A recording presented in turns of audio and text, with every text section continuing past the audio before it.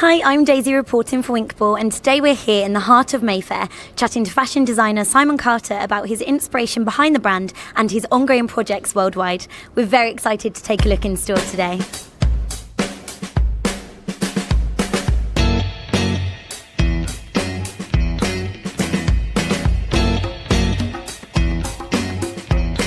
Well, I began in the 1980s on the King's Road in Chelsea. I've always been interested in art and antiques and designing and collecting, and I had a part time job in a vintage store there, and people would bring things in to sell. And I've always loved old motorbikes.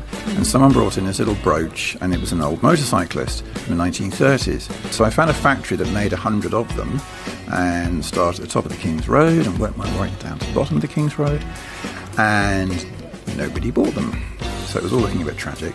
And I went into this really famous jeweller's at the bottom of Sloane Street, and it was pouring with rain, and I was very bedraggled, and I thought, no one's going to buy my little brooches. And they said, they're very interesting, we'll take 50. And that was the turning point, so that was really where it all began.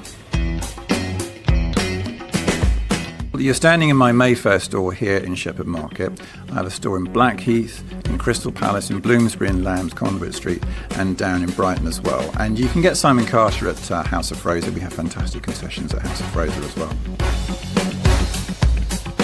India, West Africa, I think are really interesting markets. A brand like mine is all about colour, pattern, design, very visual, very bold. And if you think of India, that's one of the images you think of.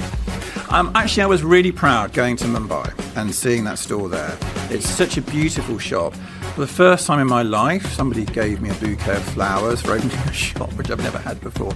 But just to stand there and think, from the King's Road with brooches 30 years ago, and now the flagship store in Mumbai. Yeah, that was a good moment.